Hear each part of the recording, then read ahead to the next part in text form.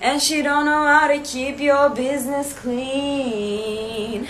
Mommy don't know daddy's getting hot at the body shop, doing something unholy. He sit back while she's dropping it. She be popping it. Yeah, she put it down slowly.